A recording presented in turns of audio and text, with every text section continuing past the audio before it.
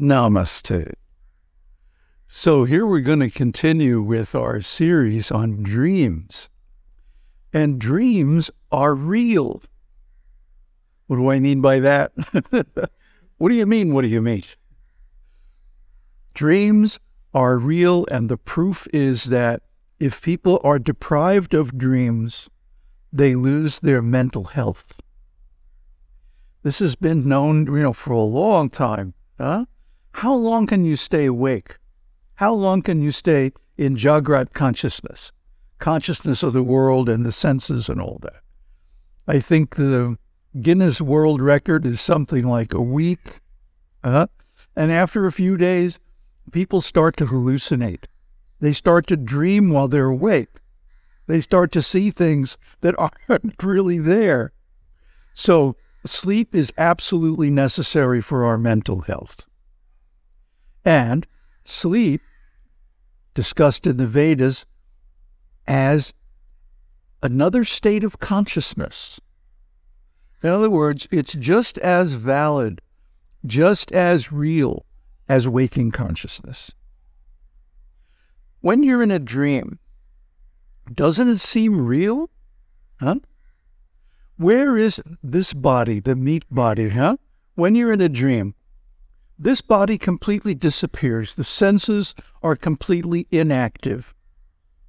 I mean, maybe if there is some loud noise or some other commotion around your body while you're sleeping, you might wake up, you know?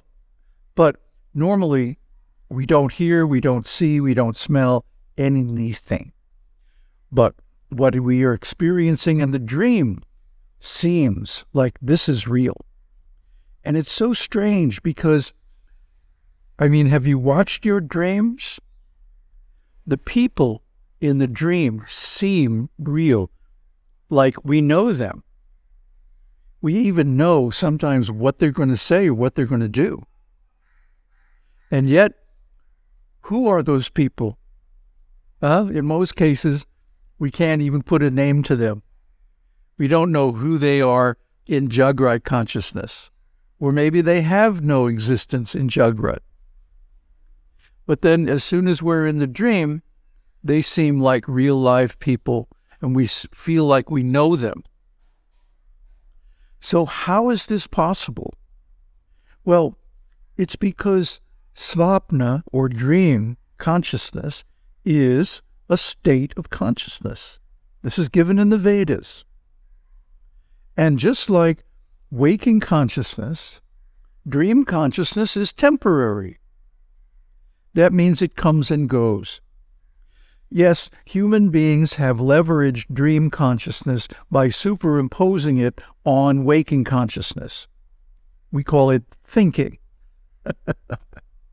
but really, what we are doing when we're thinking is that we're dreaming about having a conversation with ourselves.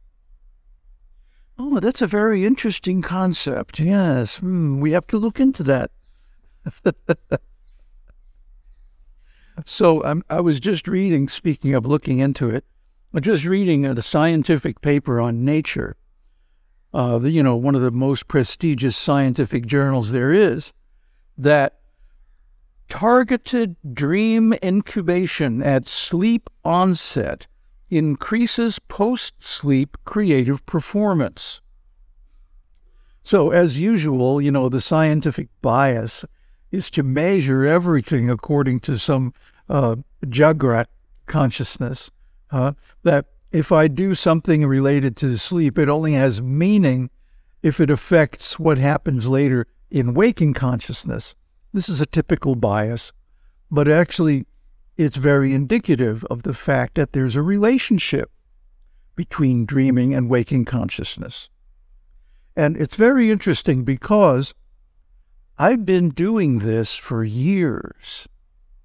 Any great sadhu, any devotee, anybody who knows really the power of mantra will chant the mantra as they go to sleep.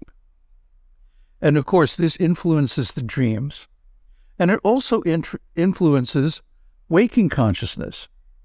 For example, it's well known that the last thought you have before you go to sleep at night is the first thought you'll have spontaneously in the morning when you wake up.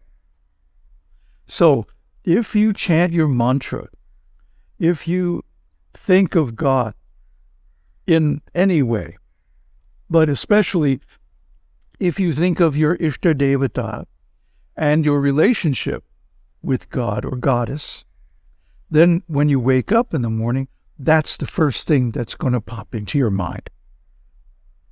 So there is a relationship besides the superimposition of dreams that we call thinking.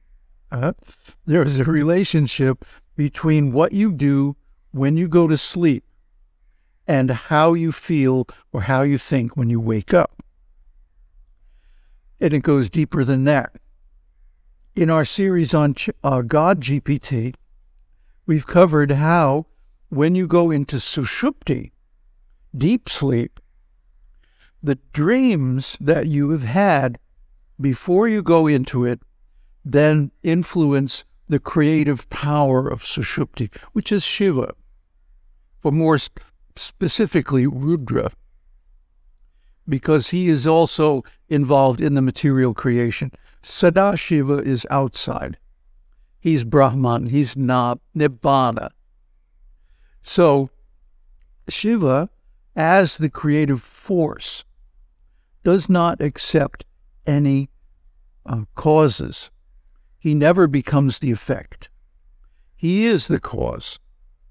So the dreams that we bring with us into sushupti don't have any effect on sushupti, but they do have an effect on how we are when we come out of sushupti, the dreams, and then the waking consciousness that follow it. And I guess sooner or later, one of these days, the scientists will get around to experimenting with that. I'm not sure how you would do that. But from a yogic perspective, what you do is you fill your mind with impressions of the quality that you want to attain in your existence, in your waking life and in your dream life. Dream consciousness and waking consciousness are exclusively dependent on sushupti. Sushupti is the cause, and they are the effects. So, when we go into sushupti at night, it seems like ignorance. It seems like the senses and the mind are all covered up and then there's nothing. But it's not nothing, it's causation. And in causation, there is no acceptance of an effect, no acceptance of other causes, because how can you cause the cause? the cause is, is the uh, reason for the effect. So, if sushupti is nothing but causation, then, of course, there are no impressions. There are no experiences, no objects. Apparently, no consciousness, but actually there is consciousness. It's just that there is nothing for it to be conscious of. So, these three states of consciousness, waking, dreaming, and deep sleep, are conditioned consciousness. Why? Because they're temporary. And they also depend on other things and the thing they mainly depend upon is turiya. Now, we've been over this in our series on consciousness and so on, but let me go over it again. Turiya is the fundamental unconditioned awareness. The awareness that is aware whether it has an object or not. Because it is self aware, awareness of awareness. And Turiya is the basic awareness behind the other states of consciousness. This is like a mirror. It reflects whatever you put in front of it.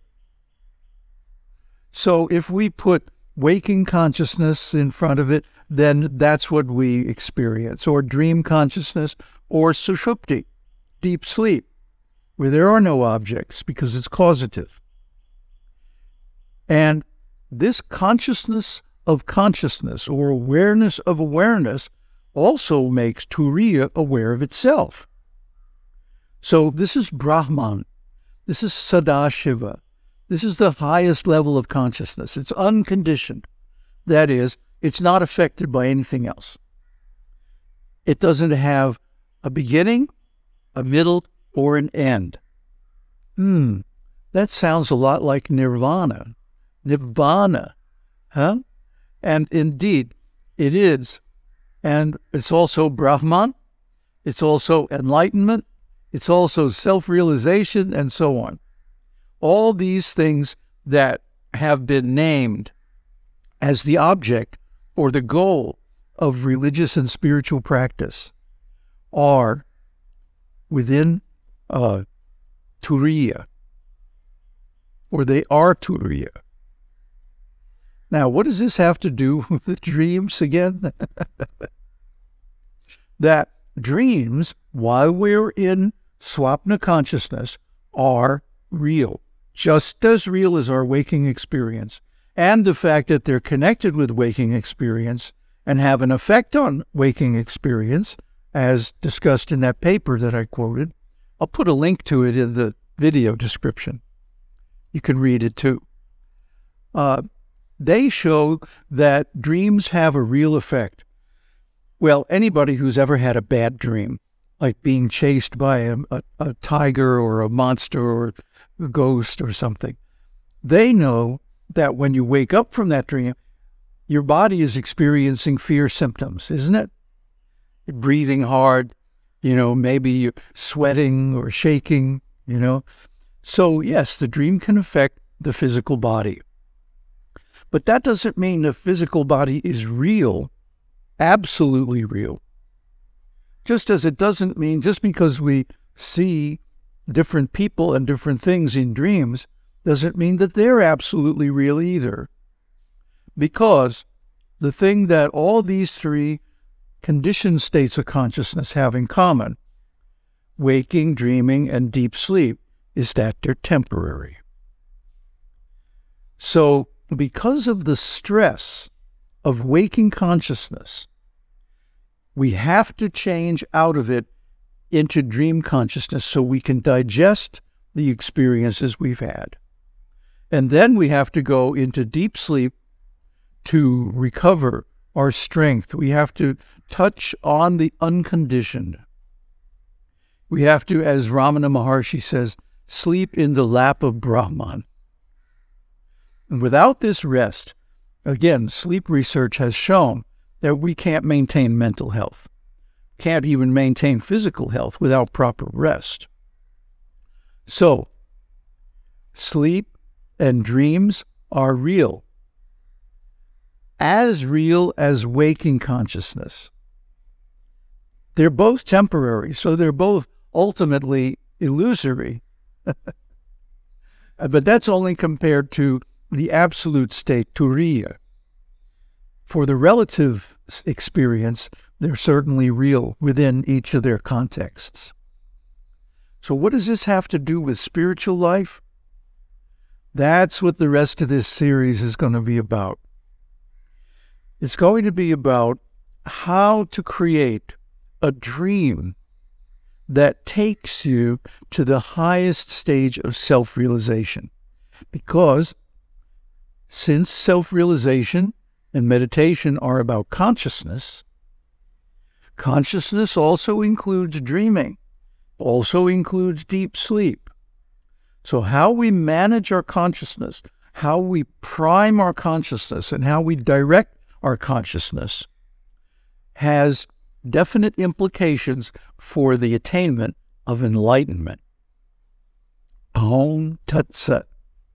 Om Shakti Om. Om Namah Shivaya.